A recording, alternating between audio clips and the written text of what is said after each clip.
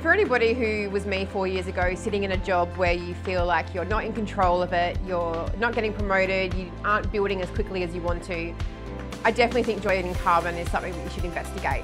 Well, I think somebody should join Carbon mainly because they want to do more, mainly because they're probably stuck with where they're currently at at the moment. The carbon model's very tailored for each partner, so it's not this is what we want, it's more about what is the business that you're wanting to build and how can we support you running a better version of that. We've won some awards, we've got great support, we've got associated services and we do all these things. But at the end of the day, we're a community of business owners that are there to support one another, achieve their goals and their dreams inside of work and outside.